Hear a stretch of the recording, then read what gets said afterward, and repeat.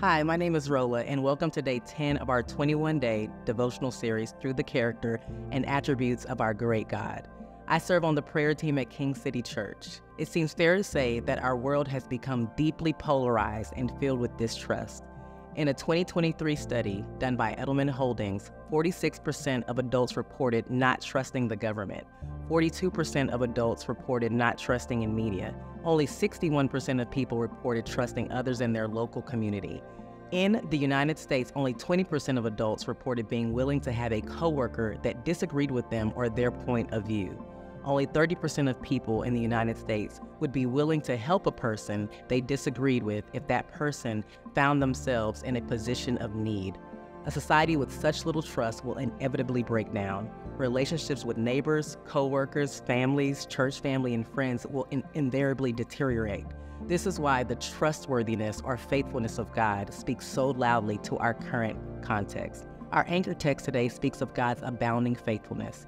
Exodus 34 6 says, And he passed in front of Moses, proclaiming, The Lord, the Lord, the compassionate and gracious God, slow to anger, abounding in love and faithfulness. When the Bible speaks of God as being faithful like this, it is talking about God being trustworthy and reliable. As theologian Herman Bavinck says, God is a perfectly reliable refuge for all of his people in a world filled with misinformation, fake news, and spin, we have a perfectly reliable source in God. And if God is a reliable source, then not only can we put our trust in Him, we too can offer rest to those who are slow and reluctant to trust in Him.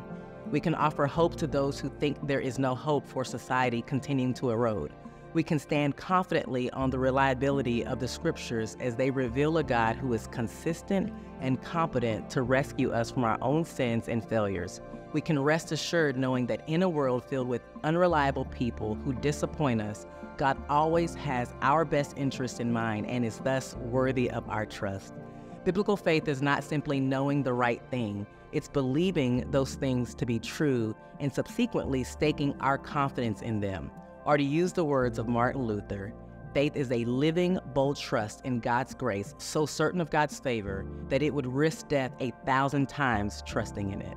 Such confidence and knowledge of God's grace makes you happy, joyful, and bold in your relationship to God and all creatures. Let's pray. Father, we know that this world is eroding. We know it is hard to put our trust in the things of this world.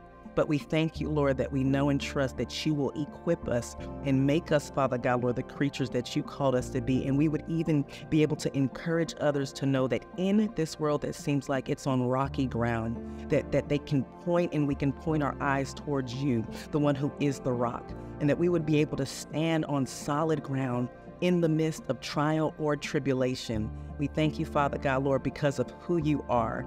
In Jesus' name we pray. Don't forget to join us tonight for a time of prayer. Please see the Zoom link below.